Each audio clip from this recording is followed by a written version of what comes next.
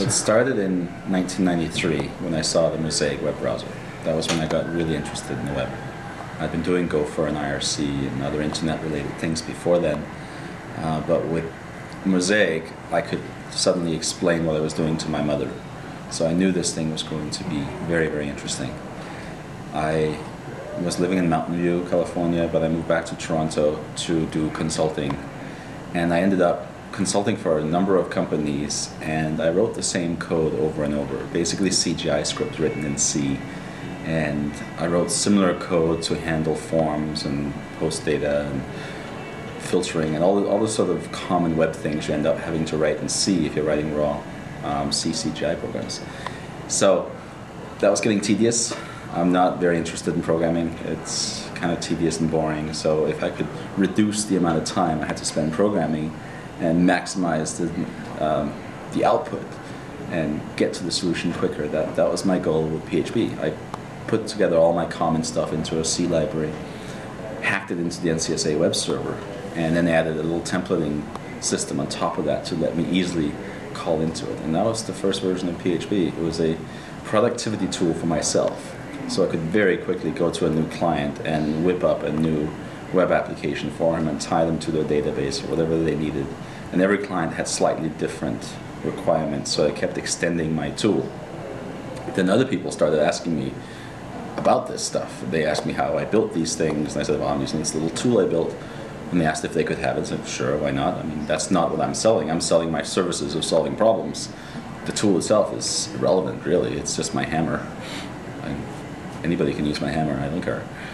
Um, and then they started sending me patches, which I thought was really, really cool. And they found bugs in my stuff that I hadn't found yet, and which meant I could also go into clients and say, hey, here we go, here's a new version that fixes this, this, and this.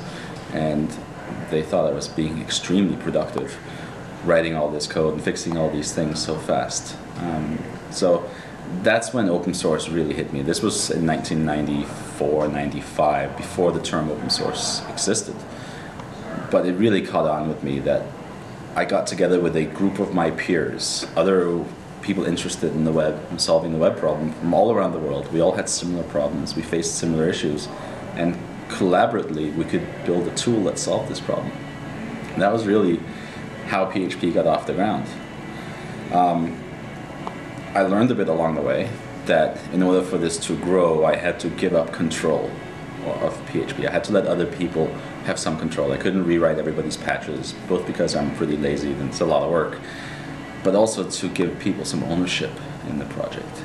And once they have some ownership, once they have full control over their part of it, then they become much more invested in it and they become passionate and it becomes theirs not just them contributing to my project, it becomes our project. And that really changed the, the nature of PHP. Um, that happened around 1997 or so, where I really delegated it out and gave people full access to the CVS repository that I was using to develop this stuff in.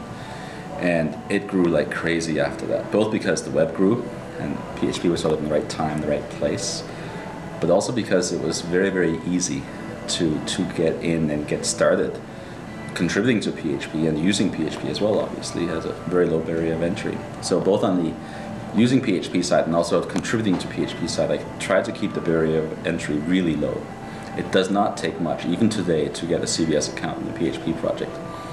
Source revision control is a wonderful thing. It doesn't really matter how bad the initial patch is from some contributor. We can always fix it.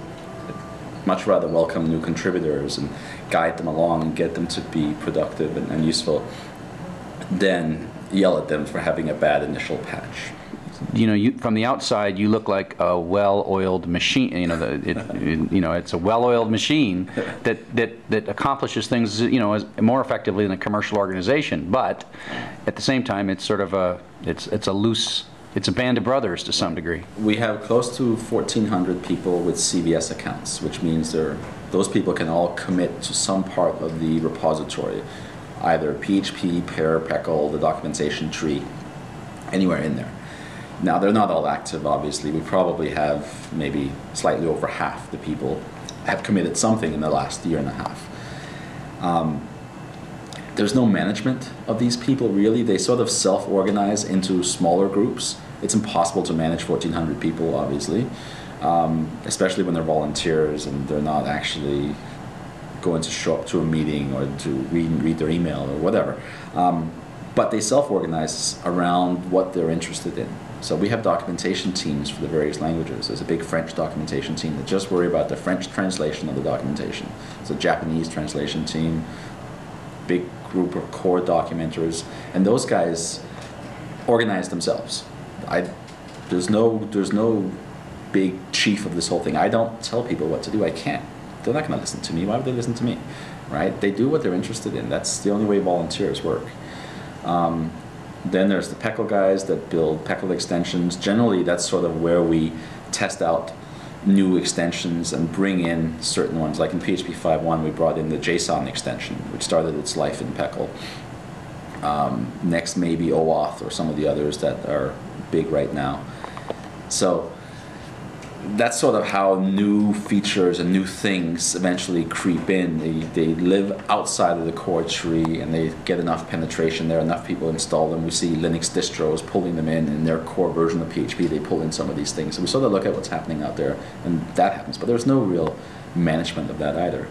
Um, and it's a meritocracy. I mean, code speaks. If you write a patch or you write a piece of code to implement a feature, that says a lot. If someone wants to disagree with that way of doing things, if they can offer an alternate implementation, that's a really good argument. If all they do is whine about it, that's a really bad argument, and chances are that the implementation will win, even though it may not be the best way of doing things. There's code, it sort of works, that's what we go with, um, and that's, that's always been the, the default. It doesn't always lead to consistency, but it does lead to um, getting the features and actually being able to do something, being able to connect to this type of database, even though it may not be the best way of doing it, at least it gets you there. And that's always been what PHP is about, is solving the problem. We'd rather have an ugly feature than not having the feature at all.